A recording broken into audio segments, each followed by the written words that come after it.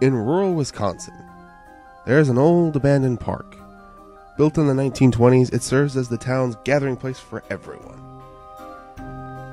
That is until a newly developed train and tunnel for tots ride was installed in 1932. It was an innocent looking child train, with the main mechanized head car with three small trolleys being pulled behind it.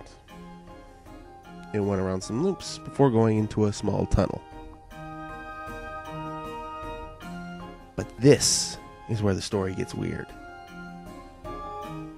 There were numerous cases of child deaths that year, all of them happening after the child rode on that train system.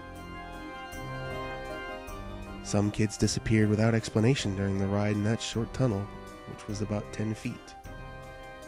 And others went comatose after leaving, only to die from sudden unexplained death syndrome shortly afterwards.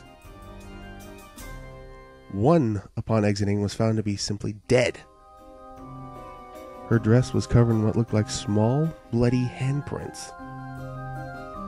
Some killed themselves by scratching at their throats until they bled out. And one of them even killed another child before hanging herself with a razor wire at their family's farm. The park was closed, and the town's popularity as a tourist attraction plummeted. Recently, a team of scientists were sent out to the park.